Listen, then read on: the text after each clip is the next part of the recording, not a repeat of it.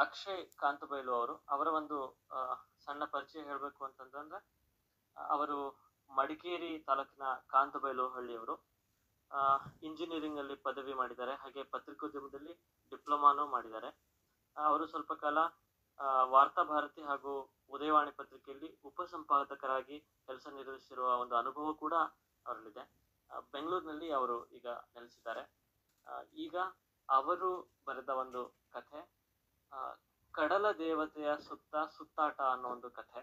ಅದನ್ನ ಅವರೇ ಇವತ್ತು ಪ್ರಸ್ತುತಪಡಿಸಿದ್ದಾರೆ ಆ, ಅಕ್ಷಯ್ ಸರ್ ತಮಗೆ ಸ್ವಾಗತ ಸರ್. ತಾವು ಮೊಟ್ಟ ಮೊದಲ ಬಾರಿಗೆ ನಮ್ಮಲ್ಲಿ ಕಥೆ ಓದ್ತಿರೋದ್ರಿಂದ ತಮಗೆ ಎಲ್ಲರ ಪರವಾಗಿ ನಾನು ತುಂಬ ಹೃದಯದ ಸ್ವಾಗತ ಕೋರ್ತೀನಿ ಸರ್.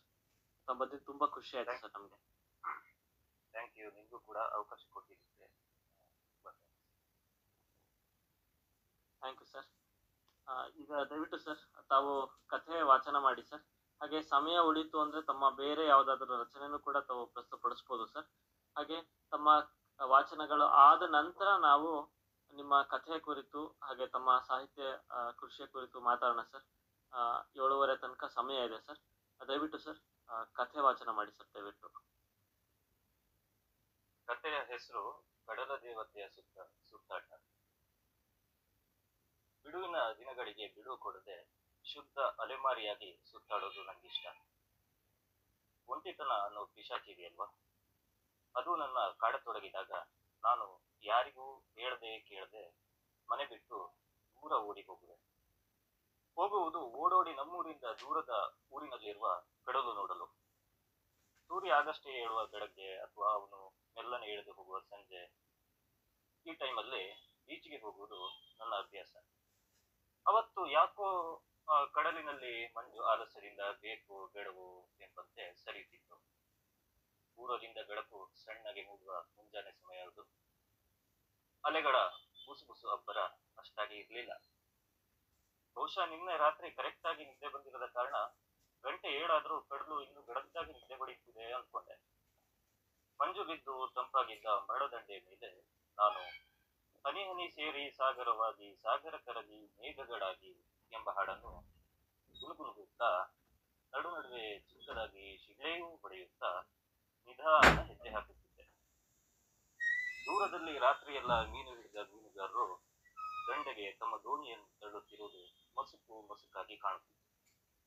ಆದರೆ ಅವರು ಆಯ್ಸ, ಅಯ್ಯ, ಆಯ್ಸ ಎಂದು ಸ್ಪಿರಿಟಿನಲ್ಲಿ ರಾಗ ಎಳೆಯುತ್ತಿರುವುದು ಮಾತ್ರ ದೂರಾಗಿ ಕೇಳುವುದು ಕೆಲವು ಮಂದಿ ಕಡಲ ತಡಿಗೆ ಗೋರಿಲ್ಲನ ರೀತಿ ಬಾಗಿ ಬಂದು ಆರಾಮವಾಗಿ ತಮ್ಮ ಹೊಟ್ಟೆಯ ಭಾರ ಇಳಿಸಿ ಅದೃಶ್ಯರಾಗುತ್ತಾರೆ ಈಗ ಜಲರಾಶಿಯ ಹಾಸಿಗೆಯಿಂದ ಸೂರ್ಯ ಸರಿಯಾಗಿ ಮೈಕೊಡವಿ ಎದ್ದು ನಾಚಿ ಕೆಂಪಾಗಿ ಎಲ್ರಿಗೂ ಹಾಯ್ ಗುಡ್ ಮಾರ್ನಿಂಗ್ ಹೇಳುತ್ತಿದ್ದ ಆದರೆ ಮರಳಿನಲ್ಲಿ ಲಾಗ ಹೊಡೆಯುತ್ತಿದ್ದ ಕಾಗೆಗಳು ಸಾಕು ಮಲ್ಕೋ ಮಾಮೂಲಿ ಡೈಲಾಗ್ ಎಂದು ತಮ್ಮ ಕಾಕಾ ದನಿಯಲ್ಲಿ ಸೂರ್ಯನಿಗೆ ಗಡಿಸಿ ತೋರಿಸಿದ್ದವು. ಕಡಲು ನೋಡಲು ಬಂದ ಪ್ರವಾಸಿಗರು ಮರೆತು ಹೋಗಿ, ಹೋಗಿದ್ದ ಅನಾಥ ಚಪ್ಪಲಿಗಳು. ಅಂಬಿ ಅಖೇಲಾ ಹಾಯ್ ಎಂದು ನನ್ನ ಪಾದದ ದೋಸ್ತಿ ಮಾಡಲು ಪೀಟಿಗೆ ಹಾಕುತ್ತಿದ್ದವು. ಅಲ್ಲಲ್ಲಿ ಕುಡಿದು ಎಸೆದು ಬಿಟ್ಟಿದ್ದ ಖಾಲಿ ನೀರಿನ ಬಾಟಲಿಗಳು ಮುಚ್ಚಳ ಕಡೆದು ಬಾಯಿ ತೆರೆದು ಹಾ ಎಂದು ಆಕಳಿಸುತ್ತಿದ್ದವು. ಪರಿಸ್ಥಿತಿಯನ್ನು ಅರ್ಥ ಮಾಡಿಕೊಂಡರೂ ಏನು ತೋಚ? ಮರಳು ದಂಡೆಯಲ್ಲಿ ನಾನು ನನ್ನ ಪಾಡಿಗೆ ನಡೆಯುತ್ತಿದ್ದೆ. ಸ್ವಲ್ಪವೇ ಅಡಿಗಳ ಅಂತರದಲ್ಲಿ ಒಬ್ಬಳು ಹುಡುಗಿ ಕಂಡಳು ಅವಳು ತುಂಬಾ ಕಸೂತಿಗಳಿಂದ ಕೂಡಿದ ಕೆಂಪನೆಯ ವೇಗನ್ನು ತಲೆಗೆ ಹೊಂದಿಕೊಂಡಿದ್ದಳು ಸಮುದ್ರದಂತ ತಿಳಿ ನೀಲಿ ಬಣ್ಣದ ಲಂಗ ಮತ್ತು ಕುಕ್ಕರೆಯ ಬಣ್ಣದ ಮೇಲಂಗಿ ಧರಿಸಿದ್ದಳು. ಅವಳ ಅಂಗಿಯು ಕೆಲವು ಬಟನ್ಗಳನ್ನು ಕಳೆದುಕೊಂಡಿತ್ತು ಮತ್ತು ಸ್ವಲ್ಪ ಚಿಂದಿಯಾಗಿತ್ತು ಹಾಗಾಗಿ ಅಂಗಿಯ ನಡುವೆ ಅವಳ ಮೈ ಅರೆಬರೆಯಾಗಿ ಅವಳು ಉಟ್ಟ ಬಟ್ಟೆಗೆ ಅವಳ ಮೈಕಟ್ಟಿನಷ್ಟು ಸೊಬಗೆಯಲಿಲ್ಲ ಅವಳು ತುಂಬಾ ವೈಯಾರದಿಂದ ಬಳಕುತ್ತಾ ಬಾಗುತ್ತಾ ಎದುರಿಗೆ ಬರುವುದನ್ನು ನೋಡಿದರೆ ಇವಳು ಒಂದು ನಡೆದಾಡುವ ಕಡಲು ಅನಿಸಿದ್ದು ಅವಳ ಪಾದಗಳು ಮುಗುಳು ಮೀನಿನ ವೇದದಂತೆ ವಿಶಾಲವಾಗಿತ್ತು ತನ್ನ ಕಾಲನ್ನು ಮರಳಿನಲ್ಲಿ ನಾಜೂಕಾಗಿ ಮೆಟ್ಟುತ್ತಾ, ಅಷ್ಟೇ ಸಲೀಸಾಗಿ ಎತ್ತುತ್ತಾ ಅವಳು ಬರುತ್ತಿರುವುದನ್ನು ನೋಡಿ ತನ್ನದೇ ಹೇಳತೀರದ ಸುಖದ ಬಿಸಿ ಎಬ್ಬಿಸಿತು ಹಾಗೆ ಉಸಿರು ಒಮ್ಮೆಗೆ ಏರಿಳಿಯುತ್ತಿತ್ತು ಮರಳ ದಂಡೆಯಲ್ಲಿ ಬಿಸಾಡಿ ಹೋದ ನೀರಿನ ಬಾಟಲಿಗಳನ್ನು ಅವಳು ಹಿಕ್ಕಿ ತನ್ನ ಎಡಗೈಯಲ್ಲಿದ್ದ ದೊಡ್ಡದಾದ ಪ್ಲಾಸ್ಟಿಕ್ ಚೀಲಕ್ಕೆ ಎತ್ತಿ ಚುರುಕಿಸುತ್ತಿದ್ದಳು ಅವಳು ತುಂಬಾ ಚುರುಕಿನಿಂದ ದಂಡೆಯ ಆ ಕಡೆ, ಈ ಕಡೆ ಕತ್ತು ತಿರುಗಿಸಿ ಖಾಲಿ ಬಾಟಲಿಗಳಿವೆಯಾ ಎಂದು ನೋಡುತ್ತಿದ್ದಳು. ನನ್ನನ್ನು ಅವಳ ವೇದಿನ ಮರೆಯಿಂದ ವಾರೆಗಣ್ಣಲ್ಲಿ ನೋಡಿರಬಹುದು. ಹುಚ್ಚು ಮರೆಯಾಕೆ ಹಿನ್ನೆಲೆಯಲ್ಲಿ ಏರುತ್ತಿದ್ದ ಸೂರ್ಯರಶ್ಮಿಗೆ ಅವಳು ನನಗೆ ಥೇಟ್ ಕಡಲ ದೇವತೆಯಂತೆ ಕಂಡು ಬಂದಿದ್ದು ನನ್ನಂತ ಅಲೆದಾಡಿಗೆ ಇವಳೆ ಬೊಂಬಾಟ್ ಜೊತೆ ಎಂಬ ಯೋಚನೆಯೊಂದು ನನ್ನ ಮನಸ್ಸಿನ ದಿಗಂತದಲ್ಲಿ ಆಳವಾಗಿ ಅವಳಿಗೆ ಕಡಲು ಬದುಕಲು ತುತ್ತು ಅನ್ನ ಕೊಟ್ಟರೆ ನನಗೂ ಎಲ್ಲೂ ಸಿಗದ ಜೀವಸೆಲೆಯನ್ನು ಈ ಕಡಲು ಒದಗಿಸುತ್ತದೆ ತಲೆಗೆ ವೇಲು ಹೊದ್ದಿದ್ದರಿಂದ ಅಷ್ಟಾಗಿ ಆ ಹುಡುಗಿಯ ಮುಖ ಸ್ಪಷ್ಟವಾಗಿ ಕಾಣುತ್ತಿರಲಿಲ್ಲ. ಈಗ ಅವಳ ಮುಖ ಸರಿಯಾಗಿ ಕಾಣಿಸ್ತಿದೆ ಎಂದುಕೊಂಡಾಗ ಅವಳು ಬಾಟಲೆ ಎತ್ತಲು ಬಾಗುತ್ತಿದ್ದಳು ಆದರೆ ಅವಳ ದೇಹ ಸಿರಿಯನ್ನು ಮೈಮಾಟವನ್ನು ನೋಡಿದಾಗ ಜೈ ಇವಳನ್ನು ಸಿನಿಮಾ ಹೀರೋಯಿನ್ ಮಾಡೋದಕ್ಕೆ ಯಾವ ನಿರ್ದೇಶಕನ ಸೌಭಾಗ್ಯ ಒದಗಿ ಬಂದಿಲ್ಲವಲ್ಲ ಅಂತ ಅನಿಸಿತು. ಕ್ಲಿಯರ್ ಆಗಿ ಅವಳ ಮುಖ ನೋಡಲು ನಾನು ಪಟ್ಟ ಪಾಡು ಅಷ್ಟಿಷ್ಟಲ್ಲ. ಅವಳ ಮುಂದೆ ಓಡಿ ಹೋಗಿ ನಂತರ ಅವಳಿಗೆ ಎದುರಾಗಿ ಮುಗ್ಧನ ತರ ನಡೆದು ಬರುತ್ತಿದ್ದೆ ಹೀಗೆ ಹಲವು ಬಾರಿ ಮಾಡಿದೆ. ಈ ರೀತಿ ಅವಳ ಸುತ್ತ ಓಡಿ ಬಂದು ಮಾಡುವುದು ಅವಳಿಗೆ ಇಷ್ಟ ಆಯ್ತು ಅಂತ ಕಾಡುತ್ತೆ ಜೊತೆಗೆ ಕಾಮಿಡಿ ತರನು ಅನಿಸಿರ್ಬೋದು. ನಾನು ಅವಳ ಮುಖ ನೋಡಲು ಕಾತರಿಸುತ್ತಿರುವುದು ಗೊತ್ತಾಗಿ ಅವಳು ಕಿಸಕ್ಕನೆ ನಕ್ಕಳು. ಆ ನಗು ನನ್ನ ಕಿವಿಗೆ ಸುರಂಗ ನುಗ್ಗಲು ಹೊರಟ ರೈಲಿನಂತೆ ಬೀಳುತ್ತಲೇ ಕೊಪ್ಪಳಿನ ಸುತ್ತ ಕಚಗುಡಿಗಿದ್ದಂತಾಗಿ ನಾನು ಮತ್ತೂ ಉಲ್ಲಾಸಗೊಂಡೆ.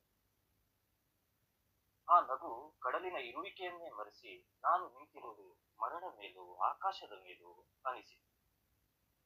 ಅವಳ ನಗುವಿಗೆ ಬರೀ ಬರೀ ಅವಳ ನಗುವಿಗೆ ನನ್ನನ್ನು ಮರೆಸೋ ಜಾದು ಇಲ್ಲ ಎಂದರೆ ಅವಳ ಮಾತಿನಲ್ಲಿ ಎಷ್ಟು ಮ್ಯಾಜಿಕ್ ಇರೋ ಬೇಡ ಹೇಳಿ.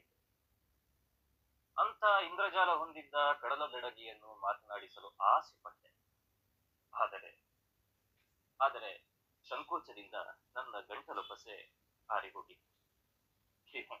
ಇದನ್ನು ಈ ಕತೆ ಓದ್ಬೇಕಾದ್ರೆ ಕೇಳಿದ್ರೆ ನನಗೂ ಈಗ ಗಂಟಲ ಪಸ ಯಾರಿಗೂ ಹೋಗ್ತಿದೆ ರೈಟ್ ಗೊತ್ತಾಯ್ತು. ಜೊತೆಗೆ ದೇಹವೆಲ್ಲ ಸಣ್ಣಗೆ ಕಂಪಿಸುತ್ತಿದೆ ಕಡಲು ಬಾಯಿ ತೆರೆದರು, ಸುನಾಮಿಯೇ ಬಂದರು ಐ ಡೋಂಟ್ ಕೇರ್ ನನಗೆ ಅವಳನ್ನು ಮಾತನಾಡಿಸಿಯೇ ತೀರಬೇಕು ಎಂದು ಧೈರ್ಯ ಕಂಡುಕೊಂಡೆ. ತುಂಬಾ ಮೇಲುದನಿಯಲ್ಲಿ ಗಂಟೆ ಒಂಬತ್ತರ ಹತ್ತಿರವಾದರೂ ನಿಮಗೆ ಇನ್ನೂ ಎಂದು ತಲೆಗೆ ಸುತ್ತಿದ್ದ ಅವಳ ವೇಲನ್ನು ತೋರಿಸುತ್ತಾ ಕೇಳಿದೆ. ಅವಳಿಗೆ ನಗುವು ಕೋಪವು ಒಟ್ಟಿಗೆ ಬಂದು ತನ್ನ ವೇಲನ್ನು ಕೈಯಲ್ಲಿ ಸವರುತ್ತಾ ನಿಮಗೂ ಕೂಡ ಚಳಿ ಬಿಟ್ಟಿಲ್ಲ ಅಂತ ಕಾಣತ್ತೆ, ಎಂದಳು. ಯಬಾ ಇವಳ, ನನ್ನ ಪ್ರಶ್ನೆಯನ್ನೇ ಉತ್ತರವಾಗಿ ನಂಗೆ ತೂರಿ ಬಿಟ್ಟಿದ್ದಾಳೆ ಅಲ್ಲ, ಮೊದಲ ಬಾರಿ ಈ ತರ ಮಾತಾಡ್ತಾ ಇದ್ದಾಳಲ್ಲ ಪರಿಚಿತ ಜೊತೆ ಅದು ಭಯವನ್ನು ತೋರಿಸದೆ ನೇರವಾಗಿ ಮಾತನಾಡಿದ್ಲಲ್ವಾ? ಹುಡುಗಿ ತುಂಬಾ ಫಾರ್ವರ್ಡ್ ಇದ್ದಾಳೆ, ಜಾಣ ಇದ್ದಾಳೆ. ಅದು ಹೇಗೆ, ನಂಗೆ ಚಳಿ ಅಂತ ಕೇಳ್ತೀಯಾ? ಎಂದು ಅವಳಿಗೆ ಮಾತ್ರ ಕೇಳುವಂತೆ, ಕಡಲಿಗೆ ಕೇಳಿಸದಂತೆ ನುಡಿದೆ ಅವಳಿಗೆ ಎಲ್ಲೂ ಕಾಣದ ನಗು ಹುಮ್ಮಳಿಸಿ ಬಂದು ತನ್ನ ಬಲಗೈಯನ್ನು ಬಲ ಅಂಗೈಯನ್ನು ಬಾಯಿಗೆ ಅಡ್ಡವಿಟ್ಟು ನೋಡಿ, ಅಡ್ಡವಿಟ್ಟು ನೋಡಿ, ಪ್ಯಾಟ್ ಜೇಬೊಳಗೆ ಎರಡು ಕೈಗಳನ್ನು ಅವಾಗಿಂದ ಹಾಕ್ತಿದ್ದೀರಲ್ವಾ ಎಂದಳು. ಆ ಮಾತಿಗೆ ನಂಗೆ ಜೋರಾಗಿ ನಗುವೋ ನಗು. ಅವಳು ಹೇಳಿದ್ದು ನಿಜ. ನನ್ನ ಕೈಗಳನ್ನು ಪ್ಯಾಂಟ್ ಜೇಬೊಳಗೆ ಅವಳ ನೋಡಿದಾಗಿನಿಂದ ಇಟ್ಟಿದ್ದೆ. ನಾನು ಸಂಕೋಚ ಮತ್ತು ನಾಚಿದ ಸಮಯದಲ್ಲಿ ಹಾಗೆ ಕೈಗಳನ್ನು ಜೇಬೊಳಗೆ ಚಳಿ ಹಿಡುಕನಂತೆ ಇಡುವುದು ನನ್ನ ಸ್ವಭಾವ. ಕಡಲಿನಲ್ಲಿ ಬೆಳಗು ಹೆಚ್ಚಾದಂತೆ ಅಲೆಗಳ ನರ್ತನ ಏರುತ್ತಿತ್ತು. ಆಗೊಂದು ಭಾರಿ ಗಾಳಿ ಮರಳೆಬ್ಬಿಸುತ್ತಾ ನಾವಿಬ್ಬರು ನಿಂತಿದ್ದಲ್ಲಿಗೆ ಬಂತು. ಆ ಗಾಳಿ ಅವಳು ತಲೆ ಮೇಲೆ ಸಡಿಲವಾಗಿ ಗೊತ್ತಿದ್ದ ವೇಲನ್ನು ಜಾರಿಸಿತು ಈಗ ಹುಡುಗಿಯ ಮುಖ ಸಂಪೂರ್ಣ ದರ್ಶನವಾಯಿತು. ಸೂರ್ಯನ ಬೆಳಕಿಗೆ ಅವಳ ಜಟಿಗಟ್ಟಿದ ಸುರುಳಿ ತಲೆಗೂದಲು ಬಂಗಾರದ ಬಣ್ಣದಿಂದ ಮಿಂಚುತ್ತಿತ್ತು. ನಂಗೆ ಕಡಲ ಕನ್ನಿಕೆ ಪುರಾಣದಲ್ಲಿ ಬರುವ ಮತ್ಸ್ಯರಾಣಿ ಹೊಳೆಯುವ ಮರಳ ದೇವತೆ ಅವಳ ಮುಖದ ಚೆಲುವಿನಲ್ಲಿ ಕಂಗೊಳಿಸಿದರು. ಇವಳಿಂದ ನನ್ನ ಜನ್ಮ ಪರಮ ಪಾವನವಾಯಿತು ಎಂದುಕೊಂಡೆ. ಅವಳು ಸುಮಾರು ಅರ್ಧದಷ್ಟು ತುಂಬಿದ್ದ ಪ್ಲಾಸ್ಟಿಕ್ ಚೀಲವನ್ನು ತನ್ನ ಎಡಗೈಯಿಂದ ಬಲಗೈಗೆ ತಂದುಕೊಂಡು ಅಲ್ಲೇ ಕಾಣಿಸುತ್ತಿದ್ದ ಖಾಲಿ ನೀರಿನ ಬಾಟಲಿ ಹೆಕ್ಕಳ್ ಹೆಕ್ಕಲೆಂದು ಬಾಗಲು ತಯಾರಾದಳು. ಈ ಬೀಚಿನಲ್ಲಿ ಆಗಿನಿಂದ ಏನು ಕೆಲಸವಿಲ್ಲದೆ ಸುಮ್ಮನೆ ಅಡ್ಡಾಡ್ತಿದ್ದೆ ನಾನು ನಿನ್ ಜೊತೆ ಸೇರಿ ಬಾಟಲ್ ಹೆಕ್ಕು ಎಂದು ಅವಳಿಗೆ ಪ್ರೀತಿಯಿಂದ ಹೇಳಿದೆ. ಅವಳು ನಾಚಿಕೊಂಡು, ಅಯ್ಯೋ, ಬೇಡರಿ ಹೆಕ್ಕೋದು ಎಂದು ನನ್ನ ಭುಜಕ್ಕೆ ನವೀರಾಗಿ ಅವಳ ಭುಜವನ್ನು ತಾಗಿಸುತ್ತಾ ಸಂಕೋಚದಿಂದ ಹೇಳಿದಳು. ಉದ್ವೇಗ ದೇಹವಿಡೀ ಹೊಂದಿದ್ದರಿಂದ ನನಗೆ ಅವಳ ಮಾತು ಕೇಳಿಸುತ್ತಿರಲಿಲ್ಲ ಅವಳ ಸೌಂದರ್ಯ ಮಾತ್ರ ಕಾಣುತ್ತಿತ್ತು. ನಡುವೆ ಸಮುದ್ರದ ಅಲೆಗಳು ಜೋರಾಗಿ ಸದ್ದು ಮಾಡುತ್ತಾ ನಾನು ಸ್ವಲ್ಪ ದೂರದಲ್ಲಿ ಕಾಣುತ್ತಿದ್ದ ಎರಡು ಲೀಟರಿನ ನೀರಿನ ಬಾಟಲಿಯನ್ನು ಹೆಕ್ಕಿ ಖಾಲಿ ನೀರಿನ ಬಾಟಲಿಯನ್ನು ಹೆಕ್ಕಿ ತಂದು ಅವಳ ಕೈಯನ್ನು ಮುಕ್ಕಿ ಮೆಲ್ಲನೆ ಸರಿಸಿ ಪ್ಲಾಸ್ಟಿಕ್ ಚೀಲಕ್ಕೆ ಹಾಕಿದಾಗ ಅವಳು ಬೇಡ ಎಂದು ತಡೆಯಲಿಲ್ಲ. ಅವಳಿಗೆ ನನ್ನ ನೇಚರ್ ಹಿಡಿಸ್ತು ಅಂತ ಕಾಣುತ್ತೆ, ನನ್ನ ಗುಣ ಹಿಡಿಸ್ತು ಅಂತ ಕಾಣುತ್ತೆ. ಅವಳೊಳಗೆ ನಾನು ಹುಡುಕಿಕೊಂಡು ಲವ್ ಎಟ್ ಫಸ್ಟ್ ಸೈಟ್ ಅನ್ನು ಆಳವಾಗಿ ಅನುಭವಿಸುತ್ತಿರುವುದು ಕಡಲು ಕಂಡು ಕಡಲ ಬದಿಯ ತೆಂಗಿನ ಮರಗಳು ಗರಿಗೆದರಿ ಕೂಗುತ್ತಿದ್ದವು ನಾವಿಬ್ಬರು ಜೊತೆಯಾಗಿ ಹೊರಡುತ್ತಾ ನಗುತ್ತಾ ಸುಮಾರು ಗಂಟೆಗಳ ತನಕ ಸುಮಾರು ನೀರಿನ ಬಾಟಲು ಗುಡಿಸಲು ತಿಂಡಿಗಳ ಕವರುಗಳನ್ನು ಹೆಕ್ಕಿದೆವು ಮರಳ ದಂಡೆಯಲ್ಲಿದ್ದ ಗುಜರಿಯೆಲ್ಲ ಅವಳ ಪ್ಲಾಸ್ಟಿಕ್ ಚೀಲಗಳನ್ನು ತುಂಬಿದವು ಮರಳ ದಂಡೆಯಲ್ಲಿದ್ದ ಗುಜರಿಯೆಲ್ಲ ಅವಳ ಪ್ಲಾಸ್ಟಿಕ್ ಚೀಲವನ್ನು ತುಂಬಿದವು. ಆಮೇಲೆ ಅವಳು, ನಾನೀಗ ಈ ಗುಜರಿ ನನ್ನ ಮನೆ, ಮನೆಯಲ್ಲಿದ್ದು ನಿನ್ ಜೊತೆ ಮಾತಾಡಲು ಬರ್ತೀನಿ. ನನ್ನ ಕತೆ ಕೇಳ್ಬೇಕು ಕಾಣೋ ನಿಂಗೆ. ಇಲ್ಲೇ ನಿಂತಿರೋ ಆಯ್ತಾ? ಎಂದು ಹೇಳಿ ಮಾಯವಾದ ಆ ಕಡಲ ದೇವತೆ ಮತ್ತೆ ಬರಲೇ ಇಲ್ಲ. ನಾನು ಮರಳು ದಂಡೆ ಮಧ್ಯಾಹ್ನ ಬಿಸಿಯಾಗಿ ಸಂಜೆ ತಂಪಾಗುವ ತನಕ ಮರುಳನಂತೆ ಅವಳ ದಾರಿ ಕಾದೆ ಮರಳ ದಂಡೆಯ ಬೀಚಿನ ಪಕ್ಕದಲ್ಲಿರುವ ಗಲ್ಲಿ ಏರಿಗಳಲ್ಲಿ ಅವಳ ಹುಡುಕಾಡಿದೆ. ಸಮುದ್ರ ನೋಡಲು ಬಂದ ಪ್ರವಾಸಿಗರ ನಡುವೆ ಅವರ ನಡುನಡುವೆಯೂ ಬಿಸಿಲಿ ನೋಡಿದೆ. ಅವಳ ಪತ್ತೆ ಇಲ್ಲ. ಅವಳು ಮತ್ತೆ ಸಿಕ್ಕೇ ಇಲ್ಲ. ಇದು ಒಂದು ಕತೆ. Prashant Bharat sir?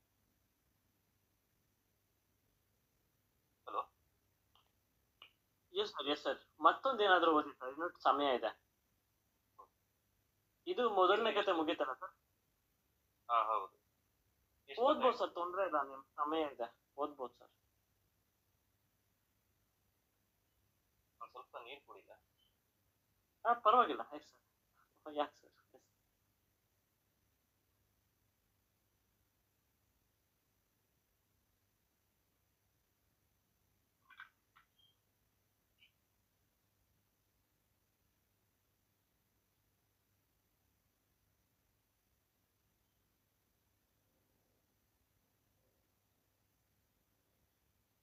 ಕತೆ ಹೆಸರು ಬಟ್ಟೆ ಬದಲಾವಣೆ ಅಂತ. ಈ ಕಡಲ ದೇವತೆ ಅನ್ನೋ ಕಥೆಯನ್ನು ನಾನು ಸುಮಾರು ಆ ಒಂದು ಎಂಟು ಹತ್ತು ವರ್ಷಗಳ ಹಿಂದೆ ಬರ್ತಿರೋದು ಹಾಗಾಗಿ ಅದರಲ್ಲಿ ಒಂದು ಉದ್ಯೋಗ ಇದೆಲ್ಲ ಇದ್ದಾವೆ. ಆ, ಈ ಬಟ್ಟೆ ಬದಲಾವಣೆ ಅನ್ನೋ ಈ ಕಥೆಯನ್ನು ಕೂಡ ನಾನು ಏಳೆಂಟು ವರ್ಷಗಳ ಹಿಂದೆ ಬರ್ತ ಕಥೆಗಳು. ಕತೆ ಇದು. ಕತೆ ಹೆಸರು ಬಟ್ಟೆ ಬದಲಾವಣೆ.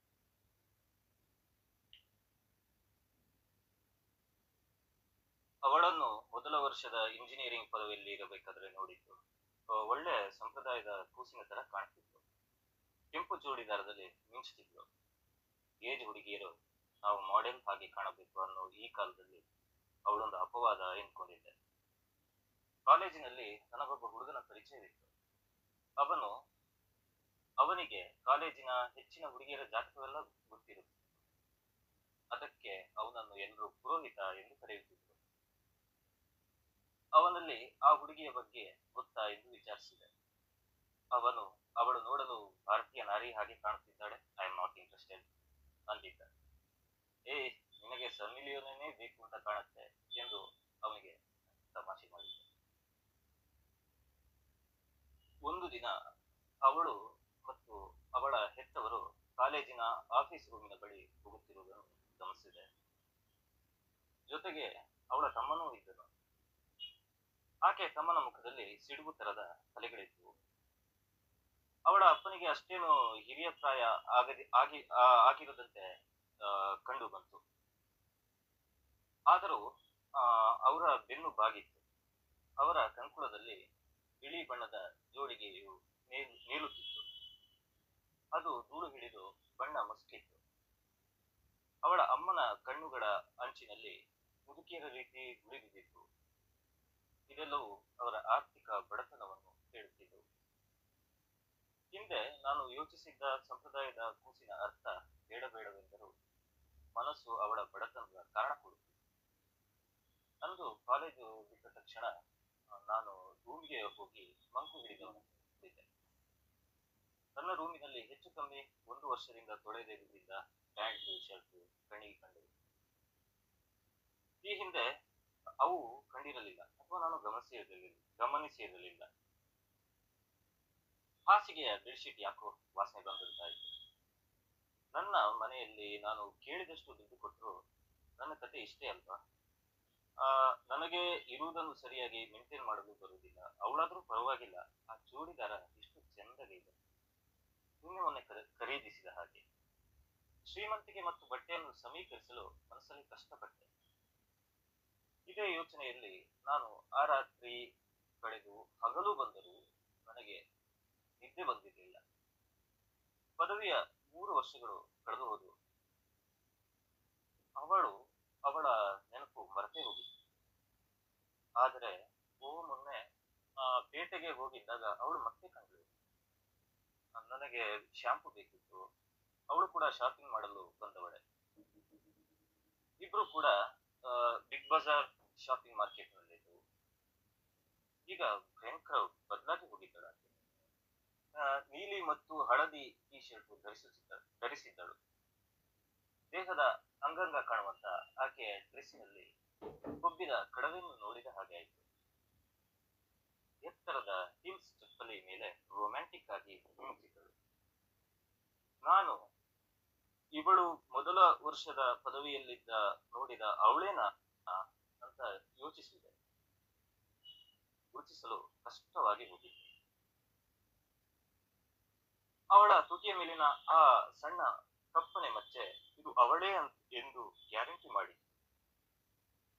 ಅಂದು ಈ ಹುಡುಗಿ ತುಂಬಾ ಬದಲಾವಣೆಗಳನ್ನು ನನ್ನಲ್ಲಿ ತಂದಿದ್ದರು ಅಪ್ಪನ ಜೊತೆ ನಾನು ಸುಳ್ಳು ಕಾರಣ ಕೊಟ್ಟು ಕೇಳುತ್ತಿದ್ದೆ ಆ ದುಡ್ಡಿನಲ್ಲಿ ಅಟ್ಲೀಸ್ಟ್ ತಿಂಗಳಿಗೆ ಎರಡು ಪ್ರತಿ ಎರಡು ಪ್ರತಿ ಹೊಸ ನಮನೆಯ ಟಿ ಶರ್ಟ್ಗಳನ್ನು ಖರೀದಿಸುತ್ತಿದ್ದೆ ಅಂದು ಇವಳನ್ನು ಮತ್ತು ಇವಳ ಹೆತ್ತವರನ್ನು ಕಾಲೇಜಿನ ಆಫೀಸಿನ ಬಳಿ ನೋಡಿದೇನೋ, ಮತ್ತೆ ನಾನು ಆರು ತಿಂಗಳಿಗೊಮ್ಮೆ ಮಾತ್ರ ಬಟ್ಟೆ ಖರೀದಿಸತೊಡಗಿದೆ.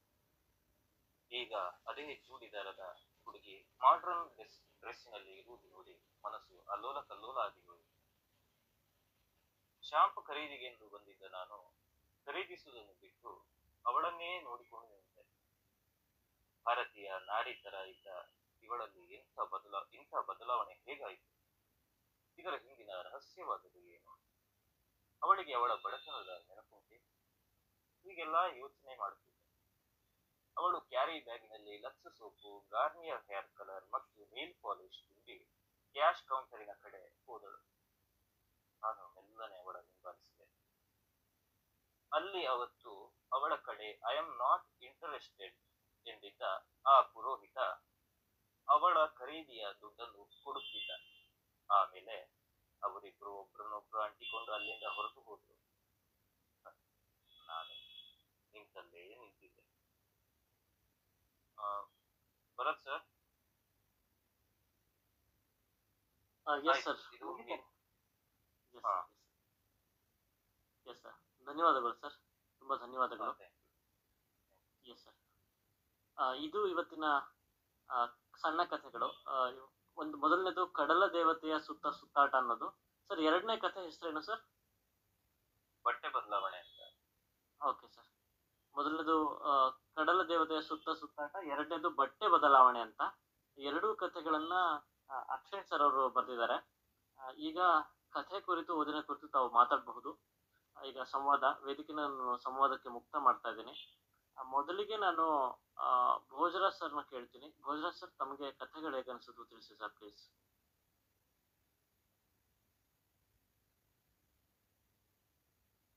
ಬಹುಶಃ ಭೋಜರಾಜ್ ಎಲ್ಲರಿಗೂ ನಮಸ್ಕಾರ. ಕೇಳಿಸ್ತಾ ಇದೆಯಾ? ಕೇಳಿಸ್ತಾ ಇದೆಯಾ? ಕೇಳಿಸ್ತಾ ಇದೆ ಹೇಳಿ. ಎಲ್ಲರಿಗೂ ನಮಸ್ಕಾರ. ಅಕ್ಷಯ್ ಕಾಂತ್ ಅಕ್ಷಯ್ ಕಾಂತಬೈಲು ಅವರ ಕತೆ ತುಂಬಾ ಚೆನ್ನಾಗಿತ್ತು. ಓದು ಅಷ್ಟೇ ತುಂಬಾ ತುಂಬಾ ಚೆನ್ನಾಗಿತ್ತು. ಎರಡು ಕಥೆಗಳು ಚಿಕ್ಕದಾದ್ರೂ ಚೊಕ್ಕವಾಗಿದ್ದವು ಅರ್ಥಪೂರ್ಣವಾಗಿದ್ದವು ಒಂಥರ ಖುಷಿ ಕೊಡ್ತು. ನಿಜವಾಗ್ಲೂ ಸಂತೋಷ ಆಯ್ತು. ಧನ್ಯವಾದಗಳು. ತುಂಬಾ ಥ್ಯಾಂಕ್ಸ್ ಸರ್. ಇದು ನಾನು ಇಂಜಿನಿಯರಿಂಗ್ ಅಲ್ಲಿ ಪದವಿ ಓದ್ತಾ ಇರ್ಬೇಕಾದ್ರೆ ಬರ್ದಂತ ಕಥೆಗಳು ಸ್ವಲ್ಪ ಅಂದ್ರೆ ಆ ಟೈಮಿನ ಉದ್ವೇಗಗಳು, ಆ ಟೈಮಿನ ಒಂದು ತುಮುಲ ಕಾಮದ ಬಗ್ಗೆ ಆಸಕ್ತಿ, ಪ್ರೇಮದ ಬಗ್ಗೆ ಆಸಕ್ತಿ ಮೊದಲಾದವುಗಳನ್ನೆಲ್ಲ ಸಮ್ಮಿಶ್ರಣ ಮಾಡ್ಕೊಂಡು ಬರೆದಿದ್ದೇನೆ. ಸ್ವಲ್ಪ ಆ ಟೈಮಿನ ಕಾಲದ, ಆ, ಒಂದು ಯುವಕತನದ ಸ್ಪಿರಿಟ್ ಅದನ್ನ ಮಿಶ್ರ ಮಾಡಿ ಕತೆ ಬರ್ದಿದ್ದೇನೆ. ಧನ್ಯವಾದಗಳು ಸರ್. ಹಾಗೆ ರಾಜೇಂದ್ರ ಬಿ ಶೆಟ್ಟಿ ಸರ್ ಅವರು ಚಾಟ್ ಬಾಕ್ಸ್ನಲ್ಲಿ ಕಡಲ ಮತ್ತು ಹುಡುಗಿಯ ವರ್ಣನೆ ಚೆನ್ನಾಗಿತ್ತು ಅಂತ ಹೇಳಿದ್ದಾರೆ. ಹಾಗೆ ಮಾಲ್ತಿ ಮುದುಕವಿ ಮೇಡಮ್ ಅವರು ಎರಡೂ ಕಥೆಗಳು ಚೆನ್ನಾಗಿವೆ. ನನಗೆ ಮೈಯಲ್ಲಿ ಆರಾಮ ಇರೋದ್ರಿಂದ ಇದು ಧ್ವನಿಯಲ್ಲಿ ಅಂತ ಲವಲವಿಕೆ ಇಲ್ಲ ಅಂತ ಹೇಳಿದ್ದಾರೆ. ಪರವಾಗಿಲ್ಲ ಮೇಡಮ್. ತಾವು ಆರಾಮಾದಾಗ ದಯವಿಟ್ಟು ಮೇಲ್ ಬಂದು ಮಾತಾಡ್ಬೋದು. ಹಾಗೆ ಮುಂದಿನ ದಿನಗಳಲ್ಲಿ ನಿಮ್ಮ ಇನ್ನಷ್ಟು ಕಥೆಗಳನ್ನ ಕೇಳೋದಕ್ಕೆ ನಾವು ಕಾತರರಾಗಿದ್ದೀವಿ. ದಯವಿಟ್ಟು ನೀವಾದರೂ ವಾಚನ ಮಾಡಿ ಅಥವಾ ನಾವಾದ್ರೂ ವಾಚನ ಮಾಡ್ತೀವಿ. ತುಂಬಾ ಧನ್ಯವಾದಗಳು ಮೇಡಮ್ ತಮ್ಮ ಅಭಿಪ್ರಾಯಕ್ಕೆ. ರಮೇಶ್ ಸರ್, ತಮ್ಮ ಮಾತುಗಳು ಸರ್. ಬರೋದಿಲ್ಲಿ ಟ್ರಾಫಿಕ್ ಜಾಸ್ತಿ ಇದೆ. ನಾನು ಒಂದು ಐದು ನಿಮಿಷ ಬಿಟ್ಟು ಮಾತಾಡ್ತೇನೆ. ಅದು ಟ್ರಾಫಿಕ್ ವಾಯ್ಸ್ ಡಿಸ್ಟರ್ಬ್ ಆಗುತ್ತೆ ತುಂಬಾ. ಭಗವಾನ್ ಸರ್ ಮಾತಾಡ್ಲಿ ಆಮೇಲೆ ಮಾತಾಡ್ತೇನೆ ಆಯ್ತು sir phone sir. Thank you sir Bhagwan sir ಫೋನ್ನಲ್ಲಿದ್ದಾರೆ ಹಾಗಾಗಿ ಕಥೆ ಕುರಿತು ಓದಿನ ಕುರಿತು ಮತ್ತೆ ಯಾರಾದ್ರೂ ಮಾತಾಡಿದ್ರೆ ದಯವಿಟ್ಟು ಮೇಲ್ ಬನ್ನಿ. ಹಾಗೆ ಇದು ಬರ ಸರ್ ಒಂದು ಒಂದ್ ನಿಮಿಷ. ರಾಜ್ ಇಲ್ಲಿ ಚಾಟ್ ಬಾಕ್ಸ್ ಇದು ನೋಡಿ ಹೇಳ್ತಾ ಇದ್ದೀನಿ. ರಾಜೇಂದ್ರ ಬಿ ಶೆಟ್ಟಿ ಅವರು ಸರ್ ಅವರು ಕಡಲು, ಕಡಲ ಮತ್ತು ಹುಡುಗಿಯ ವರ್ಣ ಚೆನ್ನಾಗಿತ್ತು ಅಂತ ಅಭಿಪ್ರಾಯ ಕೊಟ್ಟಿದ್ದಕ್ಕೆ ತುಂಬಾ ಧನ್ಯವಾದ. ಮತ್ತು ಮಾಲತಿ ಮೇಡಮ್ ಅವರು ಹೇಳಿದ್ದಕ್ಕೂ ಅವರು ಪಾಪ ಹುಷಾರಿಲ್ದಿದ್ರು ಕೇಳಿದ್ದಾರೆ. ಸಮಯಕ್ಕೆ ತುಂಬಾ ಮಹತ್ವ ಇದೆ, ತುಂಬಾ ಬೆಲೆ ಇದೆ. ನನ್ನ ಕತೆಗೋಸ್ಕರ ಸಮಯ ಕೊಟ್ಟಿದ್ದ ನಿಮ್ಗೆಲ್ರಿಗೂ ಕೂಡ ಧನ್ಯವಾದ. ಚಾಟ್ ಬಾಕ್ಸ್ ಅಲ್ಲಿ. ಧನ್ಯವಾದಗಳು ಸರ್. ಸರ್ ಹಾಗೆ ತಾವು ಇನ್ನೂ ಏನಾದ್ರೂ ಓದ್ಬೋದು ಸರ್? ಸಮಯ ಸಾಕಷ್ಟು ಇರೋದ್ರಿಂದ ತಾವು ಈಗ ಇತ್ತೀಚೆಗೆ ಯಾವ್ದಾದ್ರು ತಗೋಬಹುದೇನೋ ಅಂತ ನನಗನ್ಸುತ್ತೆ ಸರ್. ಯಾಕಂದ್ರೆ ಇನ್ನು ಈಗ ಏಳು ಗಂಟೆ. ಸರ್ ಇದು ನಾನೇನ್ ಗೊತ್ತಾ? ನಾನು ಕತೆಗೆ ಅಷ್ಟೊಂದು ಪ್ರಾಮುಖ್ಯತೆ ಕೊಟ್ಟು ನಾನು ಕವಿತೆ ಆಮೇಲೆ ಕವಿತೆಗೆ ಶಿಫ್ಟ್ ಆದೆ ಆ, ಕವಿತೆ ಬಗ್ಗೆ ಗಮನ ಗಮನ ಹರಿಸೋದಕ್ಕೆ ಆ ಶುರು ಮಾಡಿದೆ. ನಾನು ನನಗೆ ಒಂದು ಎರಡು ನಿಮಿಷ ಕೊಡೋ, ಒಂದು ಎರಡು ಮೂರು ನಿಮಿಷ ಕೊಡೋದಿದ್ರೆ ನಾನು ನೋಡ್ತೇನೆ ಈಗ ಬರ್ದಿರೋ ಕಥೆಗಳನ್ನು ನೋಡಿ ಹೇಳಿ. ತಗೊಳ್ಳಿ ಸರ್.